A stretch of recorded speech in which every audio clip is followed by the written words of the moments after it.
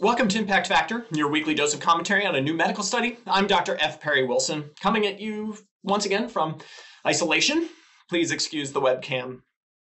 Coronavirus has caused us to reevaluate so many things. I'm doing renal consults today from my office, only physically going to see patients if absolutely necessary.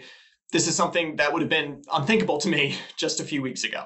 It's also causing us to reevaluate what we mean by evidence based medicine. In the days before the pandemic, many of us were of the randomized trial or bust mindset, often dismissing good observational studies without rigorous review, and likewise embracing suspect studies because they happen to be randomized. But with the coronavirus, we don't have the luxury to wait for those big definitive randomized trials. We need to act on the data we have. We need to remember what evidence based medicine is really all about. It's not just about randomized trials, it's integrating each study into the body of existing data, combining the best available science, reaching defensible conclusions. So I like to read a new study in the context of what I call the pre study probability of success. In other words, how likely was this drug to work before we got the data from the trial or the study?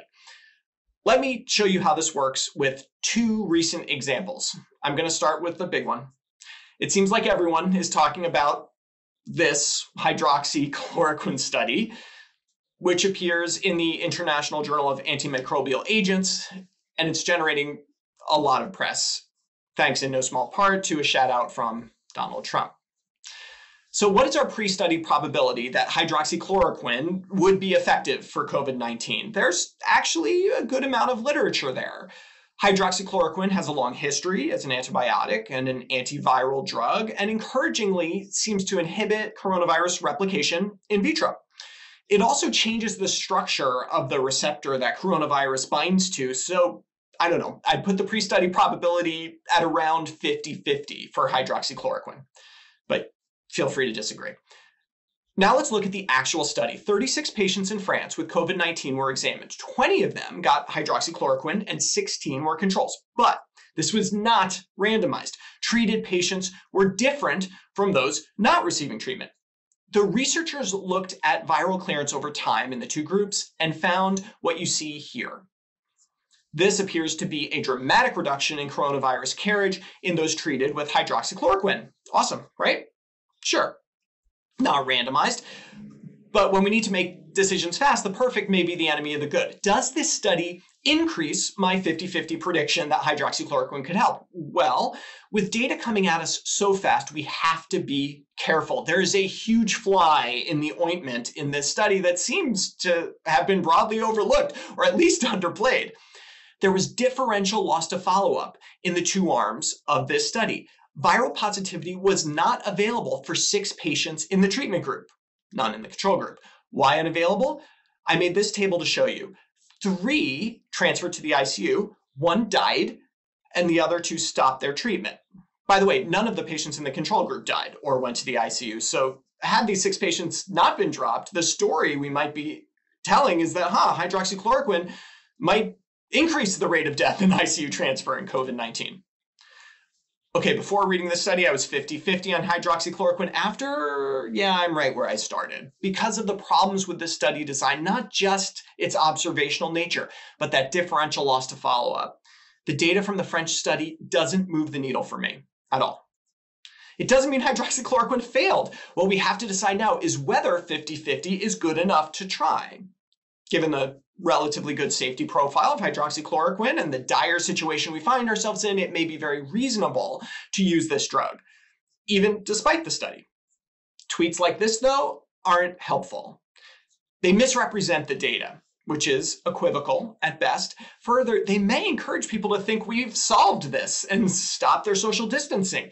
There are already reports of these medicines being hoarded now, the key to evidence based medicine during this epidemic is being transparent about what we know and what we don't. If we want to use hydroxychloroquine, that is a reasonable choice, but we need to tell the public the truth. We're not too sure it will work, and it may even be harmful. Now, the second example I want to share is this one a randomized trial evaluating lopinavir ritonavir for adults with severe COVID 19. And before I read this trial, did I think lopinavir would work for COVID 19? Well, for a nephrologist like me, this requires a bit of reading. But there were some studies showing the drug inhibited viral replication in vitro, and some data suggested it may have had some effect during the original SARS epidemic. But overall, I pegged the pre study probability fairly low. Let's give it 10%. Now, experts can differ with me on this. I won't be offended. That said, this was a nice randomized trial in 199 people with confirmed COVID 2 infection.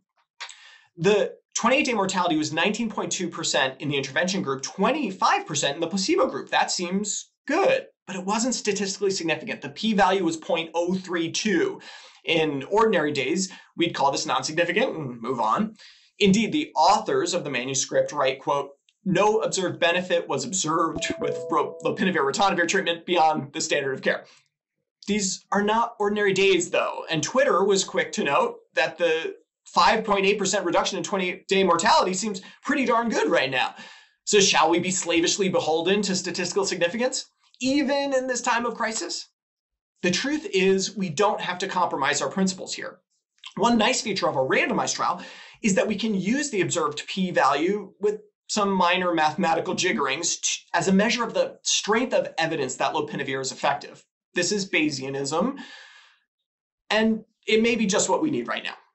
Instead of dogmatically looking for a p-value below some threshold, we use the evidence in a given trial to lend support to a hypothesis, which depends on our pretrial probability that the drug would be effective. Here's a graph showing the probability that a drug is effective after a trial with reporting a p-value of 0.05 as a function of the pretrial probability of effect. If you were 50-50 before, before the trial, after the trial, you'd be up around 75%. Maybe that's enough to start treating patients. If the trial had a really significant p-value of like 0.0001, the curve looks like this. If you were 50 50 before that trial, after the trial, you're almost certain the drug works. So, what about lopinavir ritonavir with its p value of 0.032? Well, it barely moves the needle at all. If you were 90% sure the drug would work before the study was out, these data are entirely consistent with that. If you were 10% sure, like me, the data support that as well. In other words, this trial should not affect our enthusiasm for this drug. It should really not change much of anything. See, we can use these techniques to help us make sense of the rapid fire pace of medical research coming at us. Moreover, we can use the post trial probabilities uh, of a drug as the pre trial uh, probability of success of the, the drug in the next study, allowing us to ratchet up the probability curve with successive trials showing signals, even if none of them are statistically significant by classical definitions. As more data comes in, we revise those estimates of efficacy iteratively and transparently. The bottom line is that we don't need to abandon our evidence based medicine in the face of a pandemic. We need to embrace it now more than ever. And in that embrace, we need to realize what we've known all along. EBM is not just about randomized trials, it's about appreciating the strengths and weaknesses of all data and allowing the data to inch us closer and closer towards truth. For Medscape, I'm Perry Wilson.